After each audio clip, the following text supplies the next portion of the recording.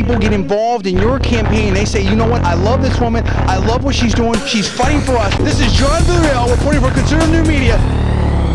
Yes, I am bad, but that's what makes me oh so good. I am the conservative outlaw. Hey, what about that uh, that interview with uh, Sharron Angle? How awesome was that? She sounds really fired up out there in Nevada, and I think that Reid is going to get retired. But we're short on time right now, so without further ado, let's go to this hot interview that we had exclusively with Peter Ferrara yesterday of the American Spectator. We're going to not play all of it. It's a tease. We're going to play some of it, and we're going to have the whole thing, which is about 30 minutes, up on conservative media on YouTube, on our YouTube channel. We have the first video up now. We'll have all the four videos up by the end of the weekend. Let's get a snippet of what Peter Ferrara had to say about the disgrace of the ruling class. Doing this video and audio for the John D. Villarreal syndicated radio show on the conservative New Media Radio Network. We are pleasantly joined right now by Peter Ferrara. Peter has served both in the Reagan administration and in George Bush Senior administration as Deputy Attorney General there. He is a graduate of Harvard and Harvard Law School. He just wrote an unbelievable piece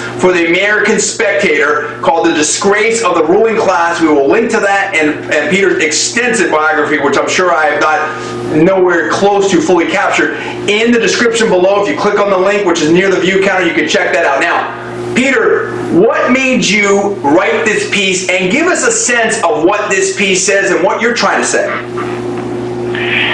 I mean, it starts off by talking about the terrible results of Obamanomics. Uh, we uh, just last week uh, report that the poverty rate is soaring uh, to record levels now. There's more people in poverty now in America than ever before uh, in history, uh, rec- uh, recorded as recorded by the Census Bureau. They've been keep, since they've been keeping track of poverty in the United States. 44 million Americans in poverty is now the most at any time uh, uh, in the 51 years they've been keeping track of poverty. The poverty rate soars upward to uh, 14, uh, 14.3 percent, uh, and this is just the latest in a series of uh, uh, unfolding disasters. Uh, you have the unemployment rate where 32 months after the uh, uh, 32 months after the uh, re- recession started, we find that the economy, according to last year's August labor unemployment losing jobs. The unemployment rate is still rising. 32 months after the recession started. Now, uh, before the, uh, previously, the longest recession uh, in, in, in uh, post since World War II uh, has been 16 months. The average recession was 10 months. Here we are, 32 months after recession started, and uh, and we're still losing jobs. And uh, you know, the National Bureau of Economic Research uh, estimated the recession is officially ending, but the uh, the fact is that we're still losing jobs, and the unemployment rate is still rising. And uh, that's still be happening 32 months after uh, uh, the recession started. It's, a, it's, a, it's a disgraceful failure. Uh, then we have the uh, foreclosure rate uh, uh, foreclosures are continuing last month in August at record levels. And poverty uh, continuing to shoot up. Uh, and uh, uh, so it, this is the disaster of this uh, Obamanomics. And then you have uh, the economic growth that we do have. We see a, a continuing downward spiral. In the last quarter, uh, of last year, uh, the uh, e- economic growth was 5%. The first quarter of this year, it was down 3.6%. 1.6%. So we seem to be headed in the wrong direction. We're heading downward, uh, back, to back into a potential uh, double-dip recession. Uh, and uh, uh, so this is the utter failure of what should have been seen as a, uh, a, a backward-looking economic policy going back to the Keynesian economics of the 1970s and we seem to be getting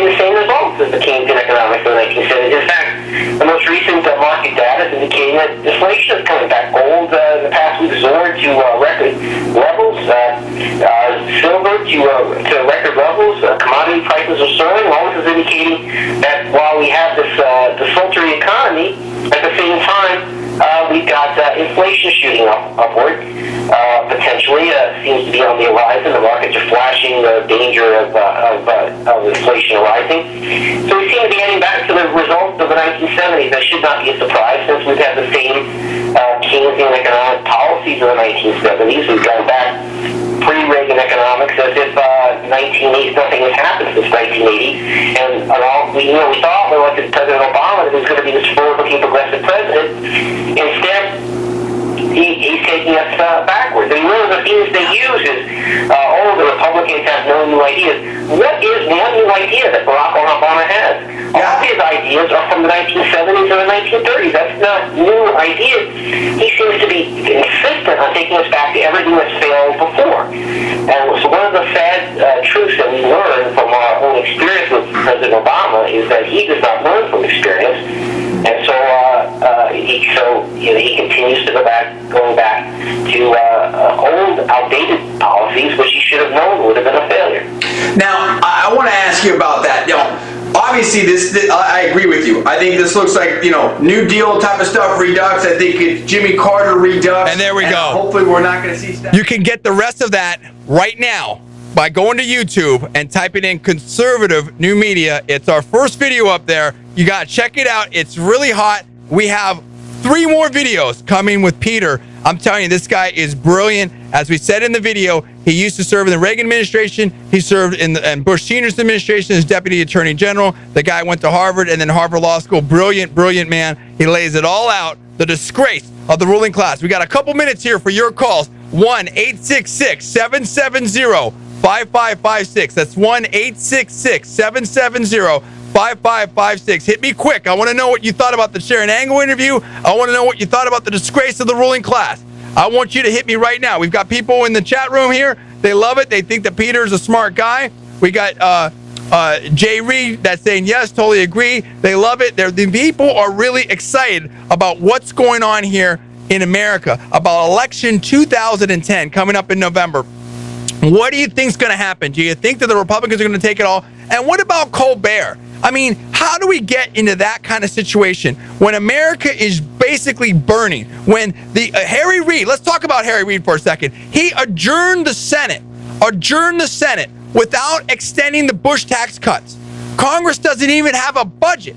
They're going home to campaign because these people have nothing uh, that they can run on. And they have, instead of doing the people's business and addressing the economy, they have Stephen Colbert up there like an idiot in character, and the whole thing's a circus. Now, what kind of country are we living in? And yet they want to go there and attack someone, a, a, a, good woman like Sharron Angle, who's a normal person looking to represent the people of Nevada. They want to attack someone like uh, a Sarah Palin, who did a great job in Alaska, who's now a private citizen, and they can't leave her and her family alone. They have to, some creep has to move in next door to write a hit piece of, uh, uh, on them and maybe he's bothering their neighbors. I don't know, but it looked kind of strange. And then they have to attack Christine O'Donnell out there and doing what we call a witch hunt in Delaware. And oh, better not get involved, people. You Tea Partiers, you normal people out there, you're all idiots. You're rubes. We'll send Karl Rove on you. Because gosh forbid that the people actually get involved in their republic, that they exercise uh, you know, their right to vote and their right to participate and their First Amendment's right. I think uh, I think this is ridiculous, and I want to hear what you have to say about it. And I love it. We got Jay Reed says I'm participating in that next week. We, and we have uh, we have uh, Jeff Wood is saying that uh, you know she built that huge fence. Everybody knows there's something wrong going on here. Everybody knows that this isn't the America that we grew up in, that we were we learned about in the history books, and now they're changing the history books. You know, it's not enough that they are trying to mess us up now. They're trying to take our history away. The founding fathers, the Constitution, economics, and finance. They don't want to teach that. They want to teach other stuff. They want to teach this progressive movement stuff. I'm telling you right there, you got to be vigilant. You got to be plugged in. But we have to be just as vigilant with the RINOs, with the people that are the establishment elite that want to be quote unquote moderate, that want to sell us out on the Republican side. I'm not saying don't vote Republican. I think you basically have to vote, with, with some very few exceptions. And I haven't fully, we're not saying what we're going to do. We haven't fully figured it out. I've voted Republican all my life.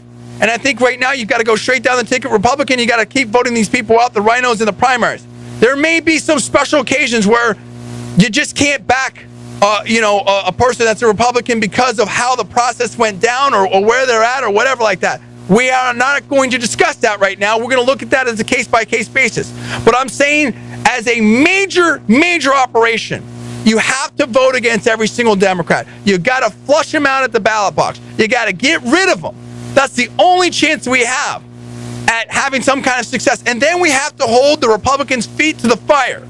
And th- th- I'm telling you right now, November 3rd, election 2010, it's not the end, it's just the beginning.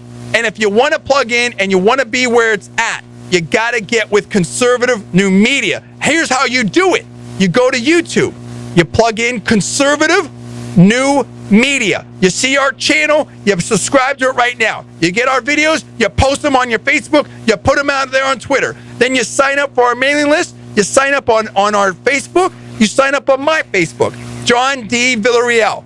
Google our names, get involved, be aware out there. I want to thank our guest this week, Sharron Angle, running for Senate in Nevada, Amy Siskind of the New Agenda out there, keeping the people honest, and Peter Ferrara of the American Spectator. Fantastic. You guys have a great weekend. You're listening to John D. Villarreal on the conservative new media radio network. I love you guys, and we will see you next week. Be good out there.